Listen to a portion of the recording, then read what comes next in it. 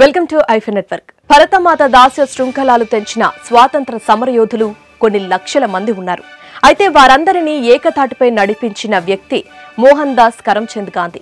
సుదీర్ఘ బానిసత్వంకు అలవాటు పడిపోయిన జనాలకు ప్రజలకు స్వాతంత్రంపై ఆసక్తిని కలిగించి పోరాటంకు ముందుకు వచ్చేలా చేసిన గాంధీ నూట యాభైవ జయంతి నేడు. ఈ సందర్భంగా ఆయన్ను మరోసారి తలుచుకోవడం ఆయన గొప్పతనంను ఈ తరం వారికి తెలియజేయడం ప్రతి ఒక్కరి కర్తవ్యం.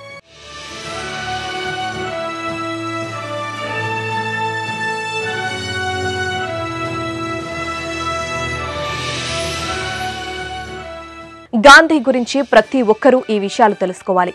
గాంధీ ఒక సామాన్యమైన వ్యక్తి. అసమానమైన పోరాట పటిమతో మహాత్ముడిగా జాతిపితగా ఎలా ఎదిగారు అనేది ఇప్పటి వరకు ఎన్నో సినిమాల్లో ఆయన లైఫ్ హిస్టరీలో చూశాం. మహాత్మా గాంధీలో ప్రముఖంగా చెప్పుకోవాల్సిన క్వాలిటీ ఆయన సింప్లిసిటీ. ఎంత ఎత్తుకు ఎదిగినా సింపుల్గా ఉండడం ఆడంబరాలకు వెళ్ళకుండా ఉండడం ఆయనకు అలవాటు. ఆయన తలుచుకుంటే అప్పట్లోనే బాగా సంపాదించేవారు. కానీ ఆయన స్వాతంత్రం కోసం చాలా వదులుకున్నారు. గాంధీజీలో ఉన్న మరో ముఖ్యమైన క్వాలిటీ ఏంటి అంటే ఆయనకు స్వీయ నియంత్రణ చాలా ఎక్కువ. తనకు తాను నియంత్రించుకున్న వారు ఏదైనా సాధిస్తారని అంటారు. అందుకే తనను తాను అన్ని విధాలుగా నియంత్రించుకోవడంలో గాంధీజీ ఎన్నోసార్లు సక్సెస్ అయ్యారు. అందుకే ఇప్పుడు జాతికి పిత అయ్యారు. తాను చేసిన చేస్తున్న లోపాలను ఎప్పటికప్పుడు తెలుసుకుంటూ తనకు తానుగా దిద్దుకుంటూ ఉండే వ్యక్తిత్వం గాంధీజీది.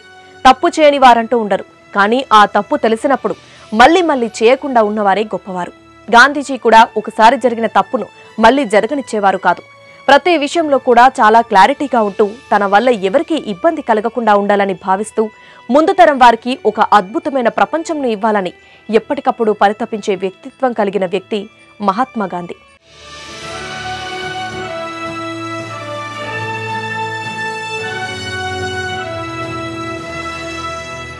సత్యశోధనలో ఎప్పటికప్పుడు తన మీద తన వారి మీద తన చుట్టుపక్కల ఉన్న వారి మీద ప్రయోగాలు చేశారు. ఆయన తెలుసుకున్న విషయాలు భవిష్యత్తు తరాలకు బంగారు బాటను వేశాయి. ఆయన చెప్పిన సూక్తులు మరియు మోటివేషన్ మాటలు ఎంతో మంది యువతరం సక్సెస్ దారిలో నడిచేలా చేసింది. భవిష్యత్తు తరాలకు ఎప్పటికప్పుడు గొప్ప వ్యక్తిత్వం కలిగించిన వ్యక్తి మహాత్మా గాంధీ.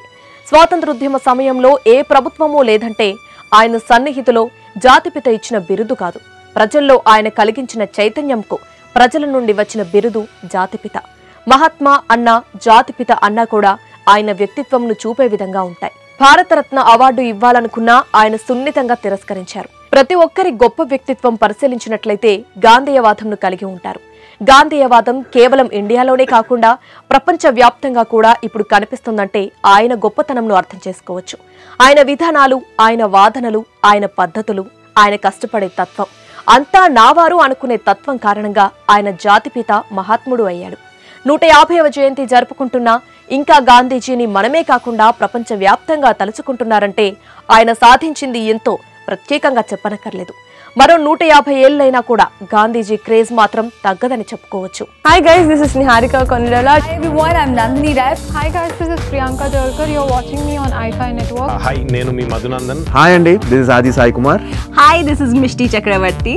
Hi నేను మీ Sandeep Kishan hi Then we Saptagiri. Do subscribe to i5 Network. Please do subscribe to i5 Network. Please subscribe to i5 Network. Please subscribe to i5, Network. For more interesting videos and film updates, please subscribe to i5 Network. Please subscribe to i5 Network and please support i5 Network. Please subscribe i5 Network.